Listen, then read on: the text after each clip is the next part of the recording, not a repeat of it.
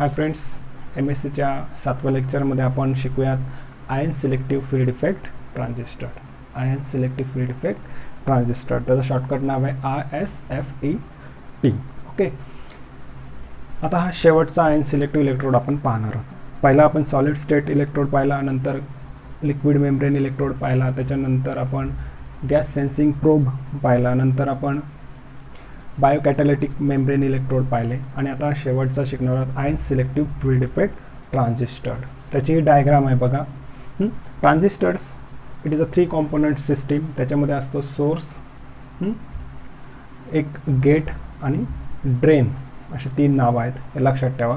सगळ्यात important source gate आणि drain आता हा फील्ड इफेक्ट ट्रान्झिस्टर करतो तरी काय? किंवा त्याचं मेन फंक्शन काय?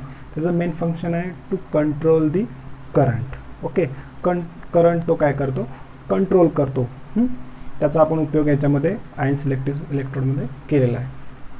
आता याच्यामध्ये आहे काय काय बघा. तर मी सांगितलं सोर्स गेट ड्रेन आणि हा रेफरन्स इलेक्ट्रोड. इथे दिसतो आहे रेफरन्स इलेक्ट्रॉड. हा जो मधला पोर्शन आहे इथे आपण आपलं ॲनालाइट सोल्युशन ठेवतो. लक्षात ठेवा हा पोर्शन इथे महत्त्वाचा आहे. एवढ्या याच्यात आपण ॲनालाइट सोल्युशन ठेवतो. ॲना ॲनालाइट सोल्युशन याच्यामध्ये ठेवल्यानंतर ह्याच्यामध्ये करंट फ्लो होतो. ॲज कंपेअर टू म्हणजे आपण म्हणूया की त्याच्यामध्ये असणाऱ्या ॲनलाईटवर डिपेंड आहे. त्याचं आयन जेवढं कॉन्सन्ट्रेशन असेल त्याप्रमाणे ह्याच्यामधून करंट फ्लो होतो. म्हणजे पोटेन्शियल डिफरन्स क्रिएट होतो. केमिकल पोटेन्शियल डिफरन्स क्रिएट झाल्यामुळे ह्याच्यातून करंट फ्लो होतो. आणि तो करंट फ्लो मीन्स कंडक्टिव्हिटी आपण मेजर करतो. आणि त्याच्यावरून त्याचं आयन कॉन्सन्ट्रेशन फाइंड आउट करतो. ठीक आहे? बघा आता इथे. पहिली लाईन आहे आपली. When the ion concentration changes मी मागाशी बोललो की इथं आपण जेव्हा सोल्युशन ठेवू की त्याचं कॉन्सन्ट्रेशनवर डिपेंड आहे. मग त्याचं आयन कॉन्सन्ट्रेशन चेंज झालं तर current through the transistor will changes accordingly म्हणजे याच्यामध्ये असणारा जो आयन कॉन्स आयन असणार आहे से ॲनालाईट आपण म्हणू से एच प्लस आता आपण हायड्रोजन पी एच सेन्सिटिव्ह किंवा एच सेन्सिटिव्ह आपण म्हटलं आहे त्याच्या कॉन्सन्ट्रेशन जर चेंज झालं तर याच्यामधला जो फ्लो होणारा करंट आहे तो सुद्धा अकॉर्डिंगली चेंज होतो. आता इथं सगळ्यात इम्पॉर्टंट पार्ट आहे गेट बघा हा जो गेट आहे it is covered with a silicon nitride S I three N four हा? इन्सुलेटर याचं हे इन्सुलेटर आहेत हा. ठीक आहे? हे लक्षात हे लक्षात कशाने कवर्ड केलेलं आहे? सिलिकॉन नायट्राईडने त्याचा खूप मोठा रोल आहे सिलिकॉन नायट्राईडचा बघा आता सांगतो मी तुम्हाला. आता याच्यामध्ये एक पॉईंट अजून एक लक्षात ठेवायचं की ज्यावेळेस तुम्ही याच्यामध्ये सोल्युशन प्लेस कराल तर सोल्युशन ह्या गेट आणि ह्या रेफरन्स इलेक्ट्रोडला कॉन्टॅक्टमध्ये असतो. ठीक आहे?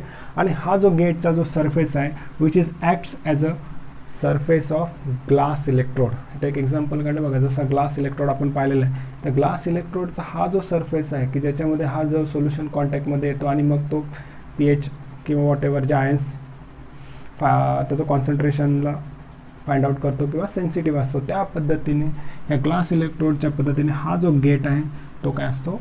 सेन्सिटिव्ह किंवा त्याला रिस्पॉन्सिव्ह असतो. ठीक आहे? किंवा त्याच्यासारखा काम करतो. आता बघा ह्याच्यामध्ये असणारा हायड्रोजन आहे आपण आता पकडलं म्हणून तर त्याच्यातले प्रोटॉन काय होतात?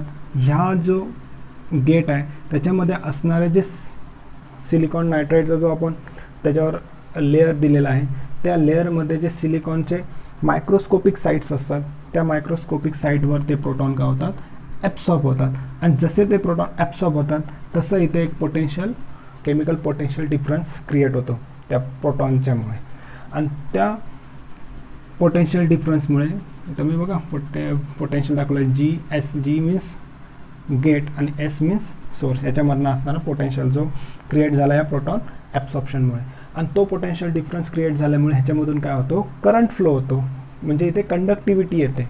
आणि ती कंडक्टिव्हिटी डिपेंड असते किंवा प्रपोर्शनल असते ह्याच्यामध्ये असणाऱ्या एच प्लस आयनवर किंवा त्या प्रोटॉनवर असतात आणि तोच प्रपोर्शनल आपल्याला काय करतो?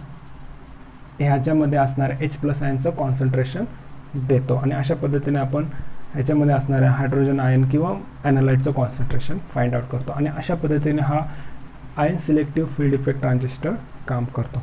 ठीक आहे? ह्याच्यामध्ये काही डाऊट्स असतील तर तुम्ही मला विचारू शकता. ठीक आहे? आणि इथं आपण हा लेक्चर थांबूया.